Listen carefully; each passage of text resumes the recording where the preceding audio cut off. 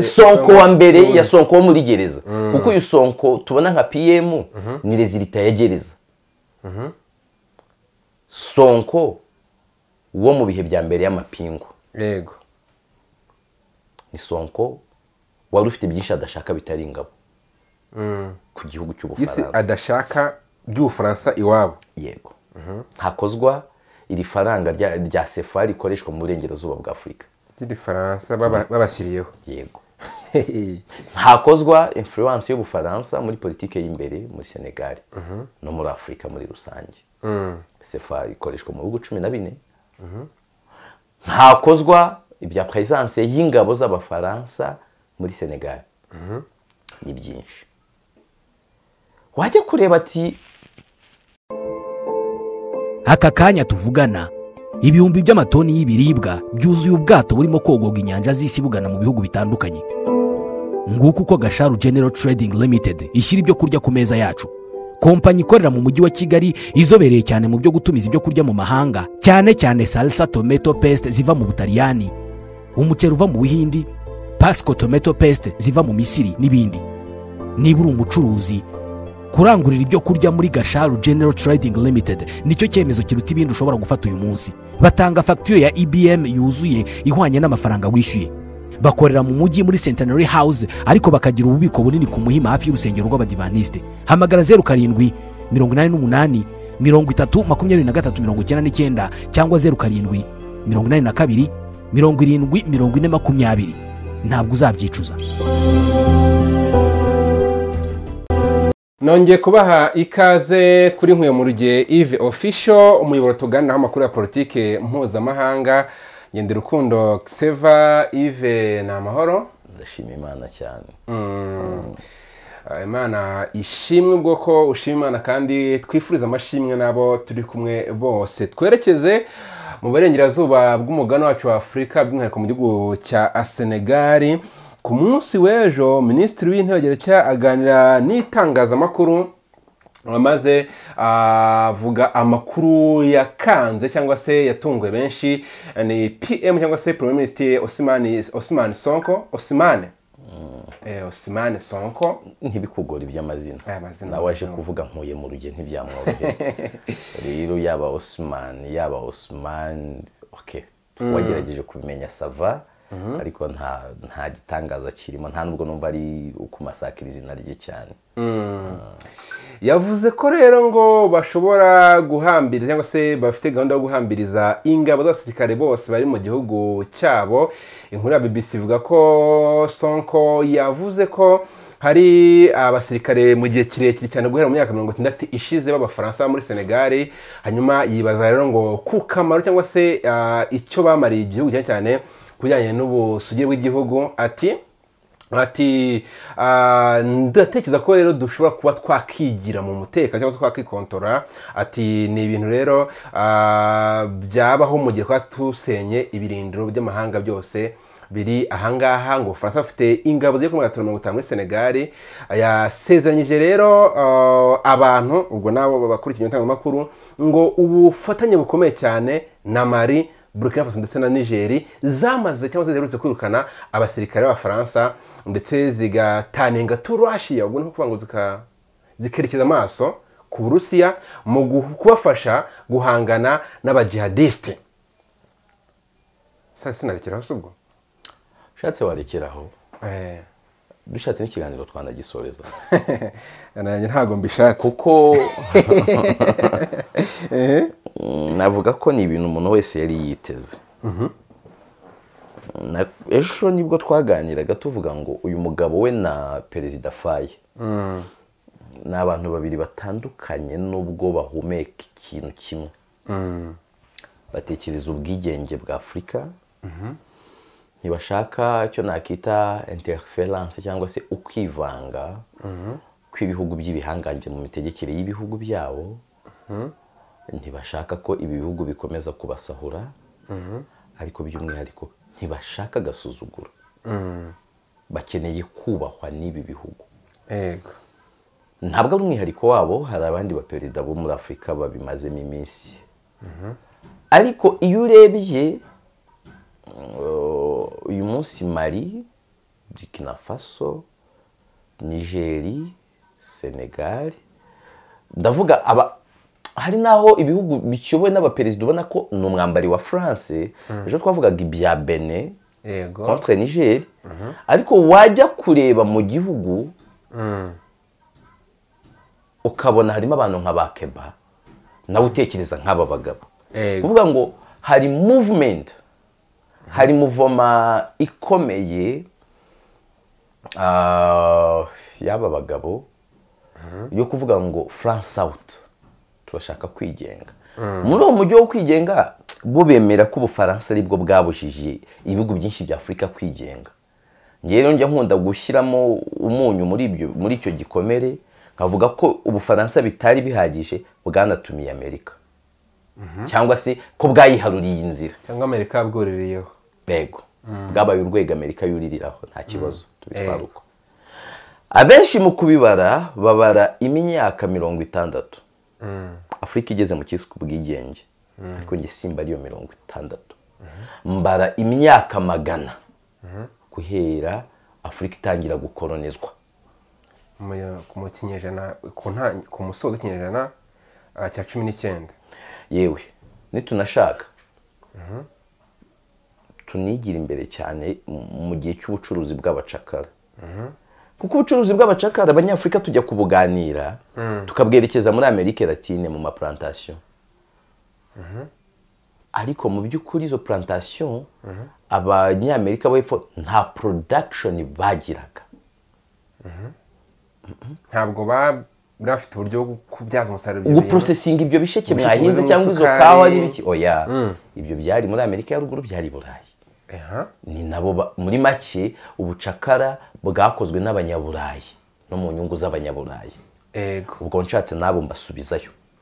Abandi usubiza he? Abo bafaransa n'abandi mbasubiza iyo mu bucakara? Yego mpita mbajyana mu kinyejana cya cumi n'umunani muri revolisiyo indisitiriyeri Yego. iyi yiri itabaho iyo ibitekerezo byayo bitabaho. Ntabwo ubu- gucuruza abirabura byari gukunda. Ba- babacururiza iki se ngo bakore iki? Ariko ibyo sinshaka ko tuhatinda. Njye nkibona iri jambo rya songo naribonye mu masaha akuze nijoro igihe nakwandikiraga ntibyanze bikunze uyu munsi turaza gukora ntabwo tugisibye akazi. Urumva? Eh, hashize nk'iminota mirongo itatu ndaribona.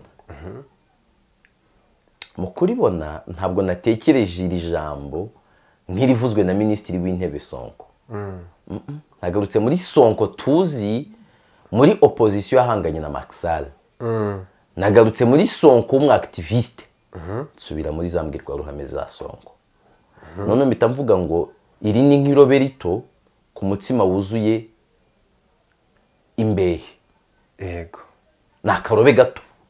Bakase ku mutsima wuzuye imbehe.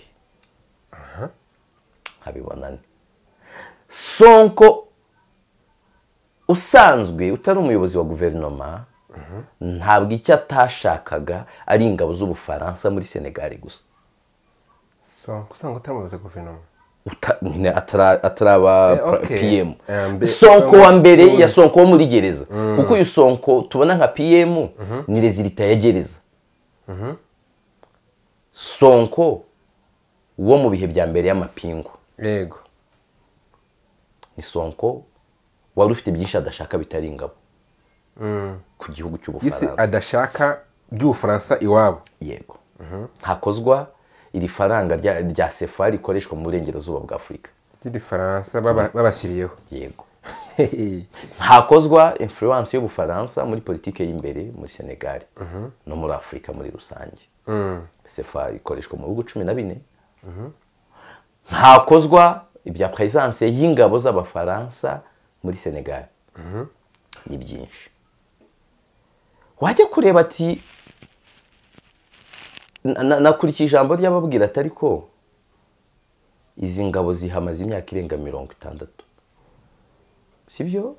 Birakwiriye ko zaba zigihari magingaya zikora iki se? Wajya kubitekereza mugani ni nka kwa kundi umuntu akanguka.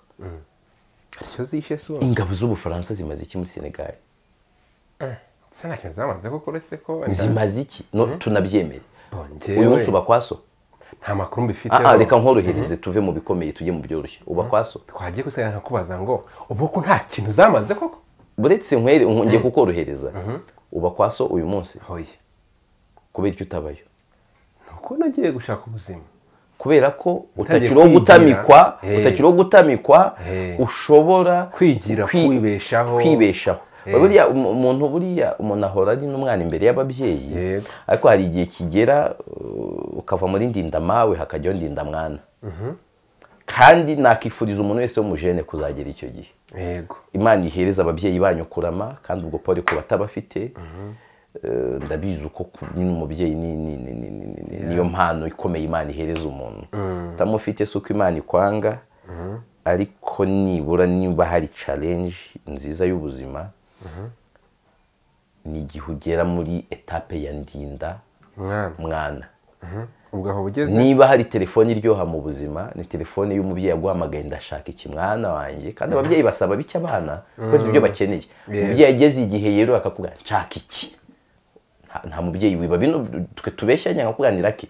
Wanije kave niko mama wanjye bimeze gutya se? Kandi nta n'ikibazo ngiye kuyajyana mu gitaramo cy'abandi cy'urungano eee umubyeyi yaguhamagaye ntabwo iyo mikino iba irimo. Oya ari uko. Niba hari ikintu kiryoha aguhamagaye bigakunda. Ukabikora bigakunda. Yego. Iyo wageze igihe rero uvuga uti mvuye mu rugo twese ku bantu wenda ushobora kugira nk'amahirwe akaba agifite umubyeyi umwe. Rero abanyarwanda benshi abafite ababyeyi bombi bo ni abanyamugisha bidasanzwe ariko hari abenshi uzajya usanga bafite umwe Eh. abandi nta n'uwo bafite. Ku muntu umufite abenshi batakiba iwabo si uko iwabo babuze aho baryama. Ushobora no gusanga bya byumba bigihari. Yego. ubwo no menyiri ubwo ndavuga nk'abantu bo mu ntara baba bahigira muri za kigali. Buriya kigali kubaka inzu biragoye. Eh, kigali umuntu aba aba ahembwa miliyoni ku kwezi cyangwa imwe n'igice ariko araruta inzu ya miliyoni mirongo itanu cyangwa mirongo itandatu. Kandi izo kuzigwiza birasaba indi myaka mirongo itatu ubwo abantu babarira amafaranga y'abandi umubwira umuntu uhembwa miliyoni imwe n'igice kugwiza miliyoni mirongo itanu ntabwo byoroshye ahita aseka. Leta yumva byoroshye. Avuga ati se sinumva ari karikire zoroshye si imyaka itatu n'igice ngenze gusevinga byavamo. Si imyaka itatu n'igice ibyo ni imyaka mirongo. Keretse iyo wize bya bintu byo kuvuga ngo nta bya singo inkamu ugashaka ahandi. Yego. Si byo? Ariko abandi ntabwo aho kuryama habuze ujya guhiga kubera ko uvuga uti njye nigire. Ariko noneho bishoboka ko nanjye nabaye mu bahinzi b'insina ni ho abantu babizi byitwa mu kwicira insina bazi insina. Eh, hari igihe ureba ko uti iyi ni insina iyi ni umubyeyi ifite umwana ifite umwuzukuru. Buriya insina itangiye kugira n'umwuzukuruza. Cyangwa ukabona insina yabyaye ifite umwana sibyo yego. Umwuzukuruza afite umwana waza kwicira umwuzukuru nawe ukamurekera umwana. Ni amakosa. Si byo yego. Eh, uba ugomba gukurikiza ibyo bintu. Mm. noneho hari igihe kigera umwe wari umwuzukuru ejo bundi akaba ari we mubyeyi usigaye kuri cya kiguri Sinsi cyangwa se igitsibo Mm. si byo ubwo yabaye umubyeyi. Ni nako bigera wa mwana wadepa- wadepandaga kuri famiye ahinduka umubyeyi. Abantu byumve ntabwo nagiye kure. Yego. Senegal. Ni igihugu kidakura wakoronije cyari gisanzwe cyicungira umutekano ukaza ukawica muri icyo gihe cyo kubakoroniza mu myaka amajana. Warangiza nyuma yo kubakoroniza nyuma y'imyaka mirongo itandatu ukaba ucyafite ingabo. Harya ubundi igihugu gihari cyacungirwa ingabo n'abasirikare magana atatu mirongo itanu ni ikihe uzi icyo bariya basirikare baba babara? Bamaze? Ni interiferanse ni ukwivanga mu bikorerwa imbere mu gihugu. Muri bo ujye kureba ngo bari basirikare iki? Usangamo za maneko kabuhariwe urasangamo special force ku rwego aho byabaye ngombwa banakivanga mu bikorwa runaka ndetse uranasanga harimo n'abasirikare b'abirabura. Akenshi ari inzobere mu bindi bintu. Yego. Si byo ibyo rero ku gihugu gikeneye kwigenga ntabwo ushobora kwigenga wowe raki njye mbi iwawe mu rugo ariko muho mfite access na accessinga n'icyumba uraramo. Na accessinga buriya aba- abantu bishoboye iyo mvuze ingero nziza mpita nanabibifuriza mwe mudukurikiye. Abantu bishoboye ariko no mu mutwe bajijutse ab- uzasanga bazubaka ama vacation houses. Mm, ya. si byo? Ahantu ashobora kujya kuruhukira atari aho iwe hari mu rusaku. Ndetse anayikore ku rwego na yo yenda kumera nka pariki. Ha hantu utazumva urusaku utazumva iki? Ushobora kujyana na madamu bakaruhuka cyangwa n'abana nta kavuyo. Hari abandi uzasanga mu nzu iwe afitemo yego. Afite nk'icyumba kimeze nko kurukiramo ariko ashobora no kuhasomera igitabo ashobora no kuhanywera ka kofi si byo ntushobora kwitwa ko wigenga aho- nta purayivesi iri iwawe. Aho hantu hose ngewe umushyitsi wawe hose mpaje agashaka. Ntushobora kwitwa ko uri igihugu cyigenga hari abantu bafite ibirindiro iwawe. Si byo Nicyo kibazo mfite. bayobora. Bafite abatasi batabarika utagenzura. Ni ikibazo kuba ufite abatasi ntibagufasha. Nese ko bari kwirukana abafaransa bakazana abarusiya. Ubundi byose si ukuba ufite abantu batakumva mu rugo iwawe ntabwo ari ibyo. Uretse ko icyo mu bintu yavuze ntabyo yavuze. Kandi uze no gucunga ntabwo yavuze ko bari bucane umubano n'ubufaransa. Yavuze we yavuze ko bakeneye kuba abapariteneri n'igihugu cyose kibishaka kandi kibyifuza mu bwubahane. Si byo yavuze ngo yasezeranyije BBC nanga gusoma inkuru yabo. Ngo kurikira ijambo rye. reka ngo kuzagira umubano mwiza n'ibihugu birimo Nigeri Burkina Faso na Mali. Ukivuga ibyo bihugu abantu bakurikiye ikiganiro ki- kuri- bakurikiye ikiganiro kuri Nkemugire Official.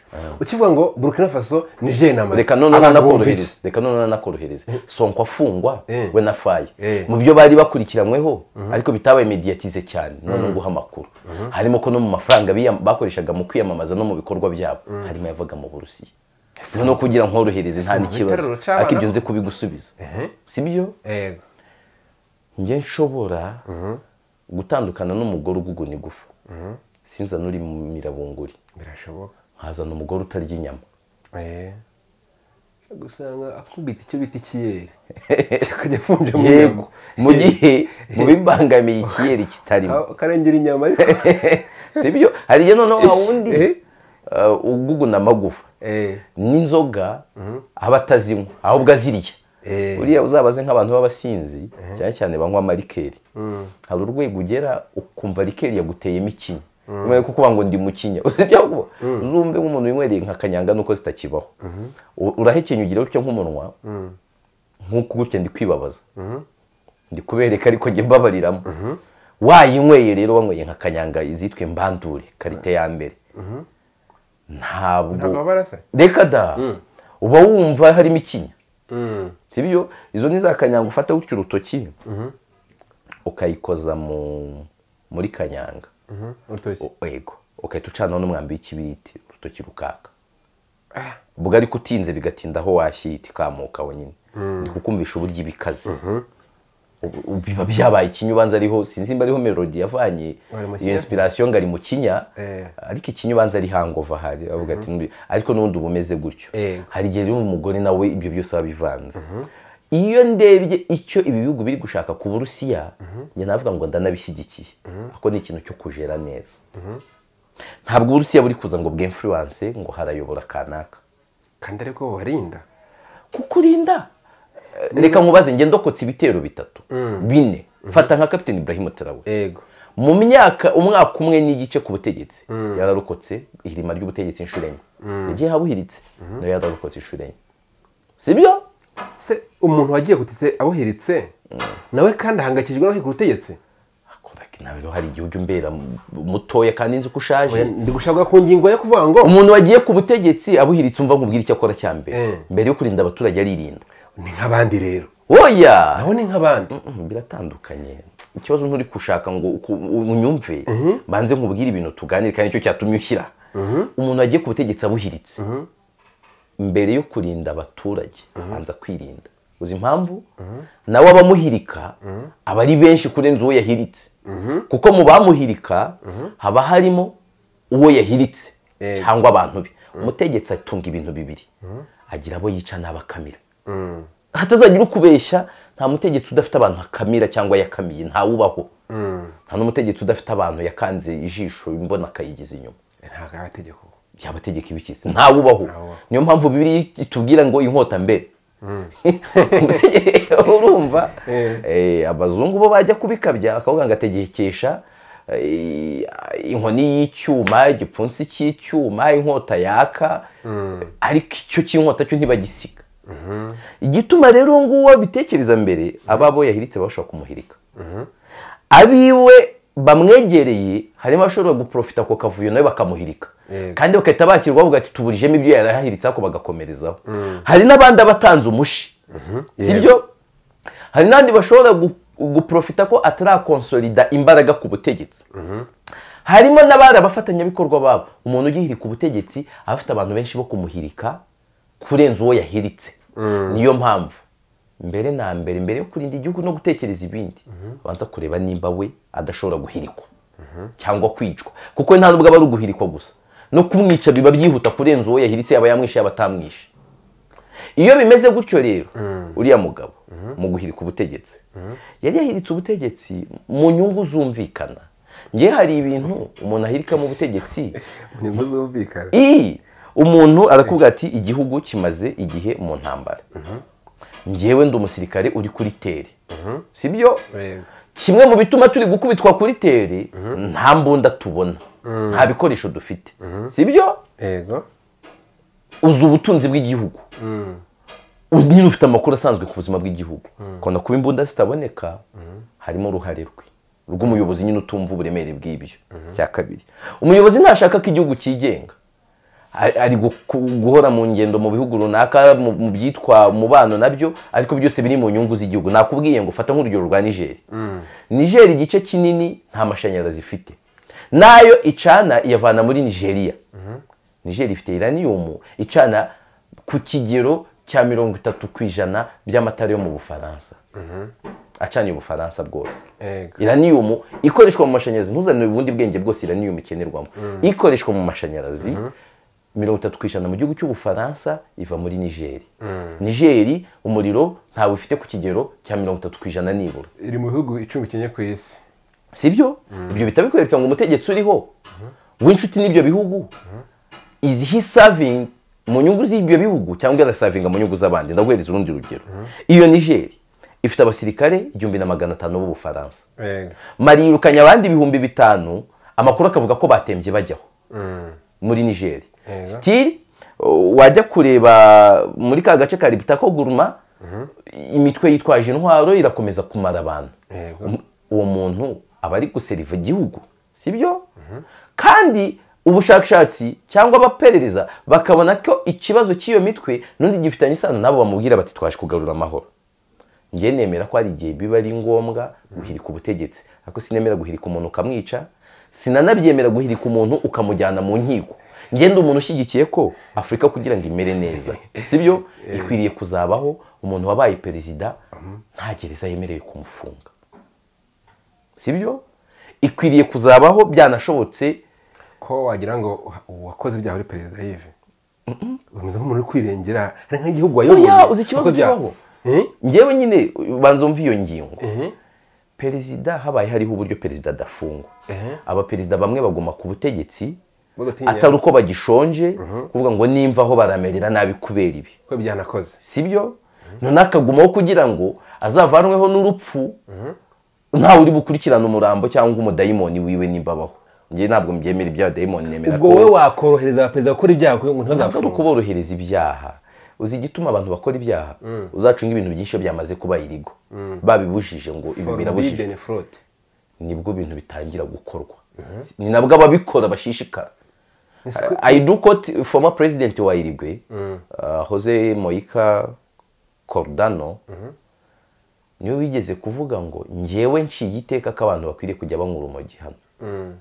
Kuko kurunywa byemewe n'amategeko bizatuma dusetinga ingano abantu bakwiriye kunywa. Noneho tumenye n'abari mu nzira yo kurunywa nabi tumenye uko tubafasha. Ariko ntabwo- ntiyabonaga ubufasha abantu baha- bahabwa bari muri gereza.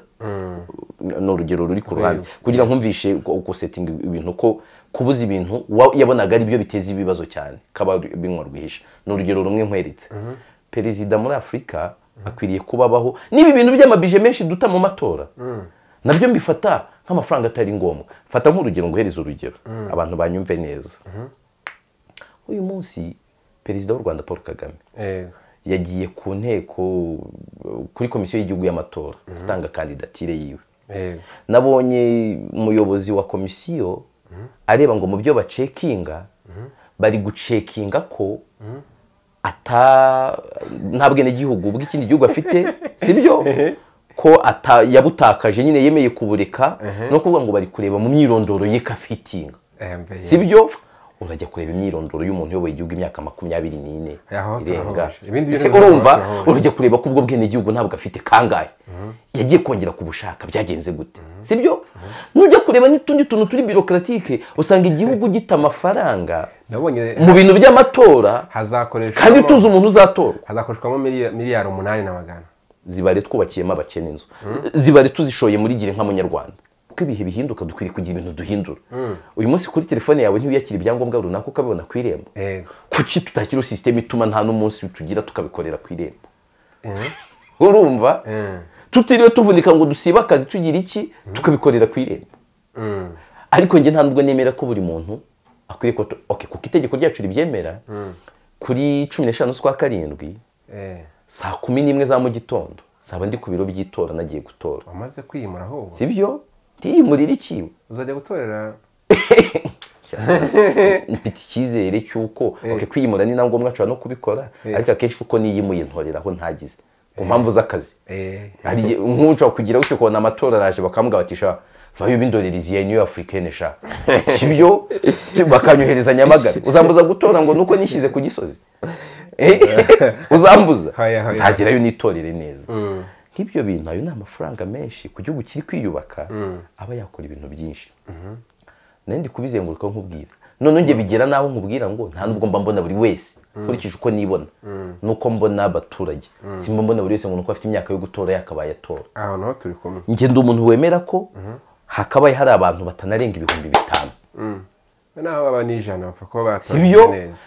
Bizewe neza bavetinzwe kuva kera bazima b'abapatiriyote uri kubona nk'uko abiru babagaho? Kuki se amerika igira electoral college?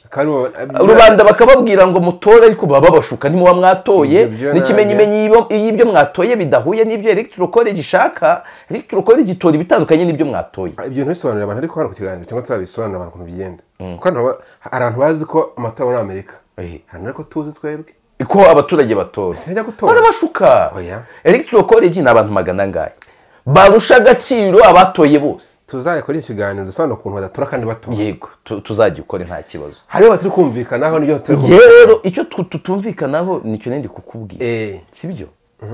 Nguhaye ingingo nka zingahe nkwereka nti umwanya uba uri kugenda. Abo bantu bakeya babonetse batekereza igihugu kurenza njye nawe. Si byo nanjye rwose ntakubeshye ariko sindi bwa kurenganzira igihugu cyampaye sindi bubwiyake ntabwo nyumva nk'umuntu hakabaye ndi muri abo batorera igihugu. Mm-mm. nakabaye ndi mubaza nkatanga ibitekerezo nta kundi mwabitora ariko turabizeye. Noneho hakwiriye kuba hari sisiteme ahubwo mu bihugu ubwo tuve mu rwanda twigarukire muri afurika muri rusange ivuga ngo ariko perezida yananiranye yava hate. Si byo yego. Ba bantu yasayiko nto itekerereza igihugu neza. Ikaba ifite ubwo bushobozi. Ariko biba bihari n'ubundi. Biba bihari. Buriya uzasanga ku isi yose bisigaye mu ntoki z'abasirikare. Ibintu byitwa kweguzwa ni ibihugu bike uzasanga ibyo byo kweguzwa ngo bigenda gutya bafite ubwo bushobozi. Keretse ari perezida w'umunyantege nkirika. Nakubwiye ngo sinakubwiye ngo perezida wahiritse ubutegetsi abanza kwirinda mbere yo kurinda abandi. Eh. n'umuperezida uzi ubwenge. Aririnda akana ok ndeka kubyita ngo ubwenge gusa. Umuperezida w'umunyembaraga. Aririnda akarinda sayiko ye akarinda ubutegetsi bwe akarinda n'igihugu akarinda ibintu byose bigomba kurindwa ku rwego no kujya gutekereza ngo kumweguza ubirose uri mu buriri. Uhita ubyuka ukajya koga mu maso wasanga atari abadayimoni bagufashe ugahita upfukama impande y'igitanda ukavuga twiteka amana ndagushimiye ko wari wampaye ibitotsi ongera umpe ibindi kandi undinde kongera kurota nabi. Kuko uba uzi ko izo nzozi zawe zishobora no kugucika bikagenda nabi. Ewe ubwo wibutsa na, marika mutagatifu gaburiyeli ukamubwira uti izi nzozi ndose. Uramenye uramenye. Cctv kamera zitaba zazibonye ntabwo nzaba zikontorora uri kumva? Eh. bikagenda gutyo sisiteme ihari ibihugu byaba bimeze neza. Hanyuma ah, turi muri senegare ku ijambo rya sonko minisitiri w'intebe avuga ati abantu magana mirongo itanu ubundi bahakoraga iki? Nubwo babaye nk'ubinyuramo kumbwira ati ariko ubundi abo bantu ntacyo ntacyo. Abo ntibabuze igihugu guterwa ari igiterwa. Bahagarariye inyungu z'ubufaransa muri senegal abo. Ntabwo bahagarariye inyungu za senegal. N'ikimenyimenyi senegal ifite abantu bangahe bari mu bufaransa bah- bahagarariye izo nyungu? Noze ndeba mu buryo bwa, diaspora afurika iri hafi kuzuza miliyari y'aba- y'abantu bayikomokamo bibereye hariya. Hanze mu garafu. Miliyoni magana inani z'abanyafurika. Senegal ifite abantu barenga hafi ibihumbi ijana hafi mu bihumbi ijana. Bari mu bufaransa. Bari muri ibyo ngo barahiga ubuzima. Ibihugu bya afurika uzi icyo bikeneye? Bikeneye kubaka ubuzima buryoheye abanyagihugu ku rwego umuntu atumva ari sefu yagiye. Ku rwego abo bumva ngo baje kuducungira umutekano natwe tuzajya tuwubagemurira sibyo? Adawayizi ibihugu byaba biri guta umwanya sibyo? Icyo sonko avuga ndacyemera ndetse si n'icya nyuma. Sonko arirukana abo basirikare b'ubufaransa hariya. Na nyuma yaho azakora izindi jesite ubona ko ubufaransa butazishimira. Icyo nakunze we ntabwo ari kubaga nta kinya ari kujya kubaga cyangwa niba ari ugusiramura akabanza agashyiraho ikinya akababwira ati twebwe ubu bufaransa gukorana nabwo we are fine with it sibyo turaza gukorana. Ariko bigomba kuba bitwungukira. Iki cy'abasirikare ntakirangije noneho yavuze ngo twe turashaka umubano mwiza n'ibihugu bya nigeri burkina faso Na mari uzi iyo mesaje ikivuga? Akantu numvise uzi iyo mesaje icya mbere uranyunganira nta kibazo. Ari kubwira ubufaransa n'abandi bari kumwe n'ubufaransa ngo aba bantu amazina mubita ntabwo ariyo twe tubita. Uko mubabona siko twe tubabona. Icya kabiri. Likers or haters turi mu murongo umwe nabo. Turi mu murongo wa afurika yigenga. Turi mu murongo wo gukorana utari papa uri umufatanyabikorwa. Turi mu murongo w'ubufatanye butarimo agasuzuguro n'igisuzuguriro gihetse ikindi. Ikindi. Ni mesaje itareba ubufaransa gusa. Irareba afurika irareba by'umwihariko sedeyawo irareba iniyo afurikeni ibi bihugu bitatu bavuze biherutse kubwira abo muri sedeyawo ngo murabeho ndagiye urumva? Uko ari bitatu. Eh. birigendera. Na iniyo afurikeni hari ibihugu byinshi biri guthreateninga kuyivamo. Kuko na yo ntiyigenga. Iniyo afurikeni na yo ni igikoresho cyamatse ibihugu. Sibyo? Mu buryo bumwe cyangwa ubundi. Kugarutse hari akantu ka- gato nanjye nongera ni mesaje rero yo kubwira abo muri ngo- sedeyawo buretse senegali iba muri sedeyawo cyangwa se ekowasi ni ukubabwira ngo natwe ntibizabatungura igihe cyose muzakomeza gutana. Tudurayivinze igihugu cyacu muri as nta butumwa se burimo aho ngaho ku burusiya? Bahaye burusiya ubutumwa ni ukuvuga ngo ku burusiya rero. Sibyo? Eh. ntibavuze ngo buri wese ari welikamu ko umupariteneri oya ndashaka ubwo tugeraho aho bavuga ngo turi kumwe na mari na, na burkina faso na, na niger. Nta kantu k'uburusiya karimo. Ubwo butuhoye buri kiriya nakubwiye ngo nakubwiye mbere yo gufunga oya bazi se uburaza kangahe urusiya muri senegali bwagezeyo kera. Ikidahari ntabwo hari vagineri kuko ntabwo senegali iri mu ntambara. Ibibazo by'umutekano basangiye n'abandi ntabwo senegali bifite sibyo? Yego. Nigeri burkina faso eh, na guinea bahaganya kwa dumbuya bo bafite ibibazo by'abitwa abajihadiste senegali ibyo bibazo ntabwo ibifite cyane. Ntabwo ikeneye vagineri rero ntawe urayitera. Ariko nibiba kuko no mu ngaruka bakwiriye kwitega birashoboka cyane ko n'abejo bakisanga bahanganye n'iyo- mitwe. Nyuma yo kwi- yo kwirukana ibyo bihugu. aho vagineri ishobora kuhaza. Senegali ikeneye uburusiya hehe? Mu mikoranire y'umutungo kamere. Mu mikoranire mu bwigenge mu kwivanaho igitutu. Sibyo? Mu mikoranire yo kuba yo kubasogongeza uko ibihugu bibyimbye umutwe. Nyine uburusiya ni umugumuke ubirambiyemo none kugenda ifasha abandi kugumuka sibyo? Noneho icyiza kirimo kuri senegali itandukanye n'ibi bihugu Eh. yo ntabwo iri kwirukana aba bandi bo mu burengerazuba bw'isi bihoraho. Oya yababwira uti muze dukorane. Ariko hari regarde fu sibyo? Iriya mirongo iyo muyirenze bigenda nabi. Aya mahitamo ya senegali arakwiye kandi araboneye. Ahubwo nakishimye mbonye ejo jibuti ihamagaye amerika ikayibwira iti murabizi? Ibyo bintu byanyu bya afurikomu ntabwo tubirimo. Sibyo? Muze mutware ibirindiro byanyu. No ntabwo ari ngombwa ko bazana uburusiya nibashaka ntibabuzane. Nibashaka ntibabuzane. Nakishimiye kenya.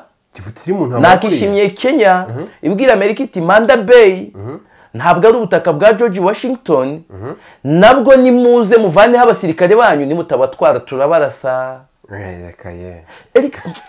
Ah, okay, nuko wenda ndi kubona iminota wampaye iri gusa nk'ishira Eh, uzi igituma mu iri rwanda nta birindiro by'abanyamahanga bihari? Eh. uzabaza abahanga bazakubwira ko mu ntara y'iburasirazuba hari akarere kamwe gafite ubutaka buri sitarategike ndetse a- i- amahanga yose yifuje kuhashyira ibirindiro bya gisirikare.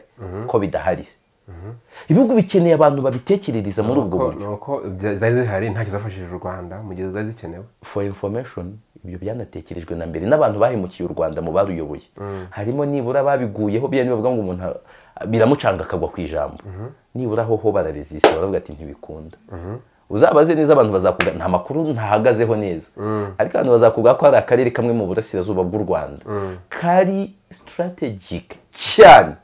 Ku rwego ibihugu byose byo mu burengerazuba bikareba iminwa ikawotaringa. Bakavuga ati hamerwa arakaze. U rwanda rwaturetse twashyira military base. Ko u rwanda rwababwiye ruti ariko ahubwo mwahashyize amashuri abana bakiga. Mwahashyize inganda tugana ku musozo Eh. eh, ikibazo kitari cya senegal ahubwo cy'isi si no muri afurika gusa. Igihugu kibonye ahantu hari strategique kuba byabafasha kwakira ingabo. Bakahagusaba. Ukahaba bitewe n'uko mukorana? Eh, ejo bagusaba ahari inganda. Twakubaka uruganda rwa sima ahangaha ukaruha wahaje urwo ruganda se kuki ubanza ingabo? Ariko urabategeka icyo bakunda mbere? Ahubwo se barankunda kurenza uko bikunda. Oya. izo ngabo barazizana njye nazisabye. Aha murakorana murakorana nk'uko baguha ubutaka bwo guhingamo. Hari ibihugu dufite ubutaka cy'u ikibazo rwanda. kibaho Eh. ikibazo kibaho. Eh. izo ngabo zije kubera iki? Ukwiriye kubanza kwidokimanta ukareba ngo afurikamo n'ingabo zigamije iki? Ukareba ese izo zaza aho ngaho ayo ni amakuru abantu hatagira uza kuyatubaza tutizeye tuba ne- abantu batuganiriza ibintu byinshi. Eh. aho hantu utekereza ko izo ngabo zaba zije ejo wese zitazakubangamira nizibangamira umuturanyi wawe se. Ejo zizakuryohera. Nizibangamira abandi ese ubundi kuki ibyo birindiro? Niba wamenye ko hari strategique. Kuki hazi izaba ahubwo utahita uhashyira ibirindiro byawe? Bikaze ubushobozi burashakwa ntabwo wabatse wababwiye ngo ari- uruganda cyangwa amashuri wakemera ibi bihugu nta bushobozi byavukanye. N'amateka atwereka ko byabayeho nabi kurenza uko tubayeho nabi none. Icyo byaturushije ni uko bitakoze amakosa dukora. Ubundi aho biri natwe twahagera. Kandi ntabwo tuzahagera ari byo bikiturandata. Tuzemera kwizirika umurunga tuzemera gusonza tuzagira umunsi tubabwira duti izo nkunga zanyu ntazo dushaka. Tuzagira igihe tubabwira ngo nta nubwo turyohewe no kuba iwanyu tuzagira igihe tunabone nubona nk'abo ba diaspora b'abanyarwanda. Ntibari mu bantu b'abanyarwanda bavuga financially bateye imbere. Niyo urebye aho bakora ibikorwa mu rwanda uhita ubireba ukavuga uti bakubwira ati "Han- eh, nyiraho no mu diaspora uhita uvuga uti sipiriti ya mbere ndi gukunda bari gukora. Ni ukwibaho sibyo? Bakohereza iwabo. Iyo ni sipiriti ya mbere nshimira buri mu diaspora aho wicaye niba uhembwa ibihumbi bitanu by'idolari ku kwezi. Birindwi barimo bakorera ama- ama- ama- ama- amadolari igihumbi ku cyumweru bibiri. Sibyo? barimo bayakorera. Ariko shemu moniyu niba nta gikorwa remezo utunga mu rwanda cyangwa i burundi cyangwa muri congo kubera iki? Aba ba- bera babaye hano baradukoronije igihe kinini. Mentality yabo ya mbere yari repatriation. Barakora ibintu bohereza iwabo. Ngo nshakira inzu zingahe bahafite? Bizinesi zingahe bahafite? Kandi baracukuye amabuye yego. Baracukuye amabuye. Ukeka ko afurika izagera nubwo ahangaha isi no question ikigenga abazungu badahari. Afurika izigenga. Izigenga bizagira ibitambo ariko izigenga. Reka ngushimire dusabire abanyafurika babyumva nkawe kubona afurika yigenga cyane urakoze cyane